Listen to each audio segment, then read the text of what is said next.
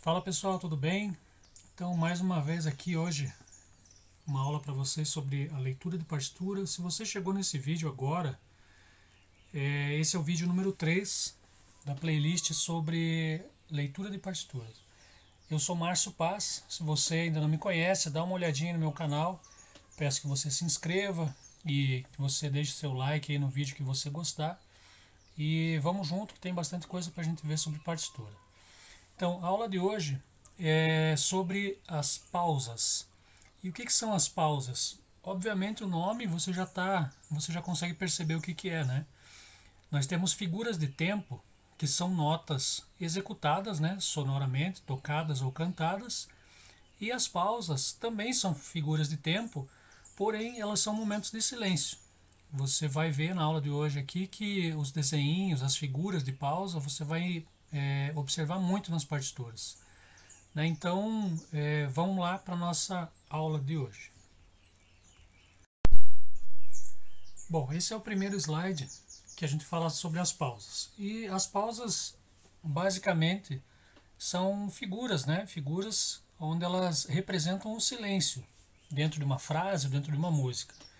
Muito bem, é, aqui você está vendo, de cima para baixo, a semibreve a mínima, a semínima e colcheia. Essas figuras de pausa, elas são equivalentes às figuras de tempo, né, que a gente substitui, substitui pelo nome de notas, que estão lá na aula 2. Então, se você não viu a aula, dá uma assistida lá que você vai entender bem o que eu estou falando. Né? Então, basicamente é para você saber o nome das figuras e como elas são desenhadas. A semibreve é um retângulozinho desenhado de cima para baixo, é como se ele estivesse pendurado na quarta linha. E o da mínima é ao contrário, tá vendo que ele é desenhado de baixo para cima na terceira linha. A semínima é um desenho aí que se assemelha a um, a um 3, uma letra Z, alguma coisa assim, ou alguma coisa que você queira associar. E a colcheia, que é um desenho parecido com, com o número 7, né?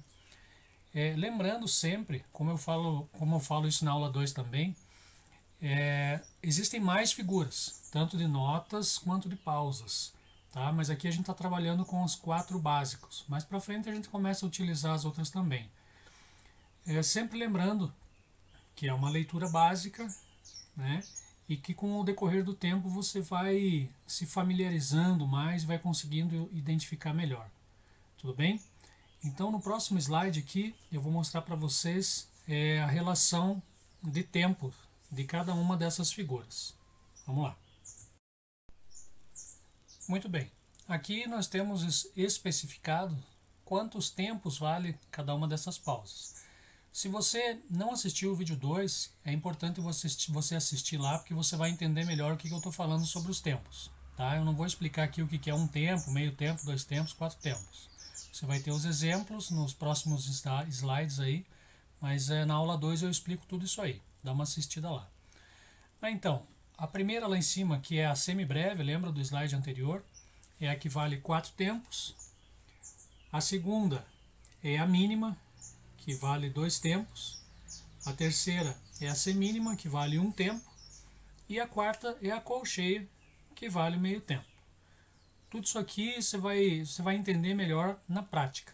Tá? Daqui a pouco começa, a gente começa a utilizar as notas e as pausas é, numa, mesma pauta, numa mesma pauta e você vai se familiarizar e entender melhor isso aí. Tá bom? Então, seguindo. É, assim como no, na aula 2 eu coloquei uns vídeos demonstrativos sobre como que são as contagens das notas, dos tempos, né? Aqui eu também vou colocar o mesmo vídeo para você se familiarizar. Né, como é que conta os tempos de cada pausa. É, é na, na realidade é da mesma forma que você conta os tempos das notas tocadas ou cantadas, você vai utilizar também aqui para contar o tempo das pausas, dos momentos de silêncio. Nós vamos começar pelo exemplo da semibreve, que é a pausa de quatro tempos. Como é que você vai contar esses quatro tempos? Acompanhe aí. Um e dois e três e quatro e percebeu? Então, é, lembrando sempre que eu estou utilizando o exemplo do pé, tá? Mas você pode utilizar a mão, você pode utilizar um metrônomo, como você achar melhor aí, tá? Então, foi o exemplo da semibreve, uma nota, ou melhor, uma pausa de quatro tempos de silêncio, ok?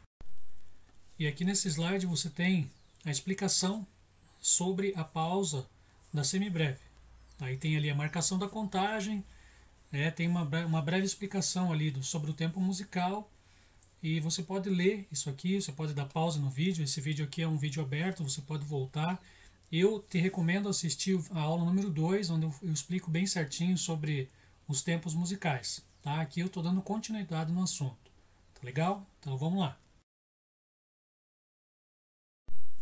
Bom, continuando então, agora nós vamos para a figura de pausa da mínima que é a pausa que vale dois tempos. Né? Aqui nesse slide você vê a breve explicação sobre um tempo musical, assim como tem lá na aula 2, a contagem dela. Então eu tenho mais aqui na sequência um, um exemplo em vídeo sobre a contagem da pausa da mínima. Acompanhe aí. Um, e, dois, e. Bom, dando sequência, sempre lembrando que isso aqui é um vídeo aberto, você pode voltar no exemplo quantas vezes você quiser, tá? E a gente vai seguindo. A próxima figura é a figura da semínima, que vale um tempo.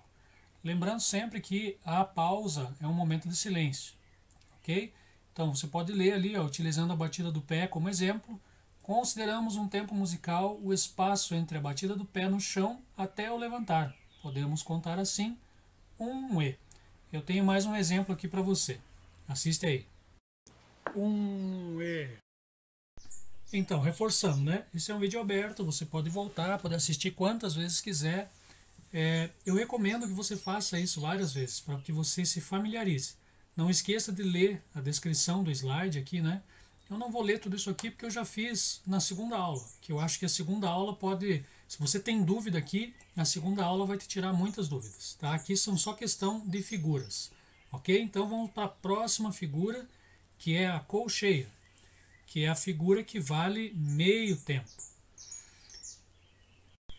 Bom, como você já entendeu o que, que equivale a um tempo, obviamente meio tempo é a metade de um.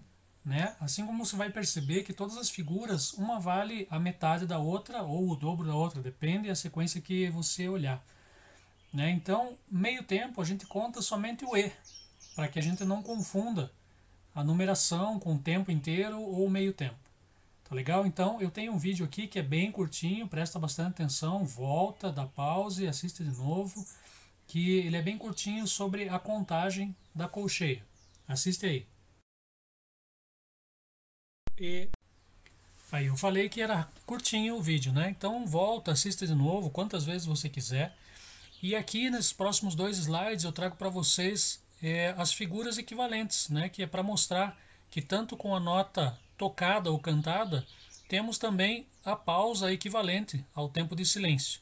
Né? No caso, a semibreve, quatro tempos, a mínima, dois tempos, a semínima, um tempo e a colcheia, meio tempo. Ok? Então, gente, essa foi nossa aula sobre as pausas. Né? Se ficou alguma dúvida, pode fazer questionamento aqui no, nos comentários que eu vou responder você.